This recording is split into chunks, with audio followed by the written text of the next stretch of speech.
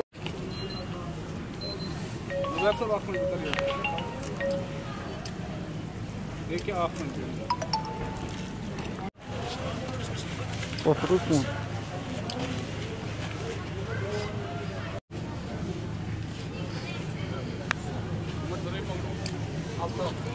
Hadi atıl atıl atıl.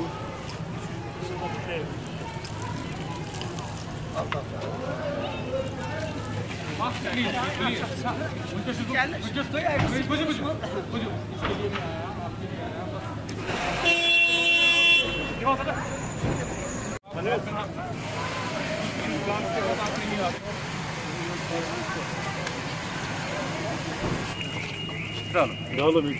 Cholo. Cholo, espera, espera, espera.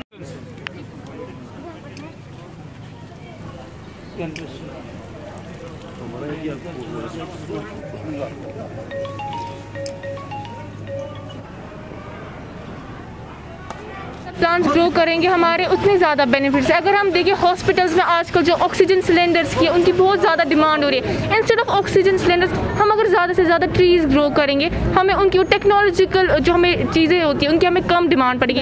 Even जो ये plants हैं they are free of cost इनके बहुत ज़्यादा बेनिफिट्स है। ये हमारे इन्वायरमेंट को क्लीन करते, हमें ऑक्सीजन प्रोवाइड करते ग्रीनरी प्रोवाइड करते। इवन एक ब्यूटीफुल सीनरी होती है। अगर हम देखिए कश्मीर में जो हमारे हिली एरियाज़ है लाइक जो गुलमर्ग या अगर हम देखें इवन एवरीवेयर हमें ग्रीनरी हर जगह पर है।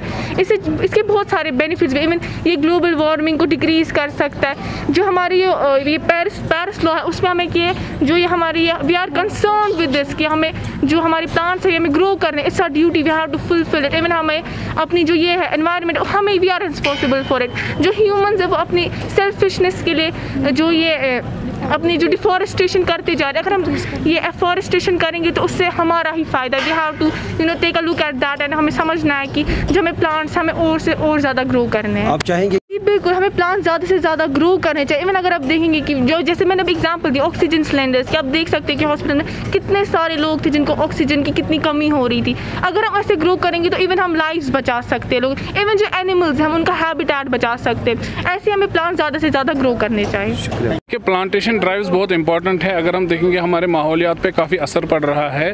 दिन ब दिन ग्लोबल वार्मिंग बढ़ रही है। वो डिफॉरेस्टेशन उसकी एक बहुत बड़ी वजह है। अगर आप देखेंगे, उत्तराखंड में भी रिसेंटली एक बहुत बड़ा डिज़ास्टर हो गया। दिन ब दिन नेचुरल डिज़ास्टर्स बढ़ रहे हैं और उसका सीधे सीधे इंटरफेरेंस ह्यूमंस का है। वो मैन मेड डिज़ास्टर्स है। वो जो आज हम डिज़ास्टर क्रिएट करते हैं, वो अगली जनरेशन पर बरस पड़ता है। इसलिए अगली जनरेशन सेफ़ रहे, हम आज प्लांटेशन कर रहे हैं। ये समझ के ये प्लांटेशन ड्राइव शुरू की गई और मैं ये रिकमेंड करता हूँ कि हर स्कूल हर इदारा ऐसी जो ड्राइव्स है, वो चलाते रहे within the campus and outside campus habitat uh, destruction जो हमने किया हुआ है जंगलों में जंगलों को काट काट के अपनी ज़रूरियात पूरी कर, करने के लिए वो ज़रूरियात जो थी ना वो एक लग्जरी थी। वो ज़रूरियात यात अगर पूरी नहीं भी होती तब भी हमारा गुजारा होता। लेकिन हम हम लोगों की खुदगर्जी की वजह से उनका हैबिटाट डिस्ट्रक्ट हो गया ये सारी इकोलॉजी डिस्टर्ब हो गई। और धीरे धीरे जंगल के जानवर यहाँ की ओर आ रहे हैं इंसानों को भी नुकसान पहुँचा रहे हैं। लेकिन ये नुकसान बेसिकली जानवर नहीं पहुँचा रहे ये हमने उनकी जनरेशन को पीछे नुकसान पहुँचाया हुआ है और उनके पास अब कोई ऑप्शन नहीं है। वो खाना ढूँढने के लिए हमारे बस्तियों में नज़दीक नज़दीक तर आ रहे हैं। सॉइल टाइप भी है ना, जो हमारा सॉइल टाइप है, ये लोमी सॉइल नहीं है, ये माउंटेनियस सॉइल है, ये बड़ा लूज होता है, इसको पकड़ता है प्लांट का रूट जब हमने प्लांट के प्लांट ही काट दिए रूट कमज़ोर हो गए धीरे धीरे ये ढीला पड़ जाता है और ग्रेजुअली इरोजन हो जाता है और लैंडस्लाइड्स की शक्ल इख्तियार कर लेता है। वो डिस्ट्रक्टिव होता है नेचर नेचर के लिए तो हमने ऑलरेडी डिस्ट्रक्शन स्टार्ट की हुई की हुई है, लेकिन इन टर्न वो अब हमारे लिए भी डिस्ट्रक्शन होता है, हमारा इंफ्रास्ट्रक्चर डिस्ट्रॉय होता है लाइव्स डिस्ट्रॉय हो रही है इंफ्रास्ट्रक्चर बाकी चीज़ें। तो ये इसकी सारी वजूहत जो है कहीं ना कहीं हमारा डिफॉरेस्टेशन पे जो हमने जो रैपिड एक्सपेंशन उसका हो गया हो, हो गया है ये मैं एक्सपेंशन तो नहीं कहूँगा वो एक्सप्लोजन हो गया वो था। उसको रिवर्स करने के लिए प्लांटेशन बहुत ज़रूरी है और हमें चाहिए कि हम off the camera off the campus भी प्लांटेशन करें जहाँ पर एक्चुअल प्लांटेशन होनी चाहिए थी। इसमें गवर्नमेंट को भी आगे आना चाहिए और एज सिटीजन हमें भी आना लास्ट मैसेज ये है कि जिसको जैसे बनता है छोटा एफर्ट बड़ा एफर्ट वो इकोसिस्टम को बचाने की कोशिश करे। वो जंगल के नज़दीक रहता है वो वहाँ से बचाने की कोशिश करे सिटी के नज़दीक रहता है उसी तरीके में बचाने की कोशिश करे पॉलीथीन कम यूज़ करे प्लांट्स लगाए बाकी चीज़ें करे।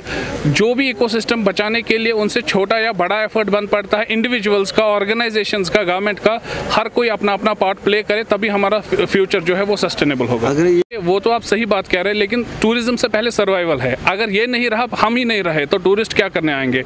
इसलिए टूरिज़्म को भी बचाएँगे, अपने सर्वाइवल को भी बचाएँगे, अपने इकोसिस्टम की ओर ध्यान देंगे और इसको हम ऐसी एक्टिविटीज़ को दिन ब दिन तरजीहत के तौर पर कैरी आउट करेंगे।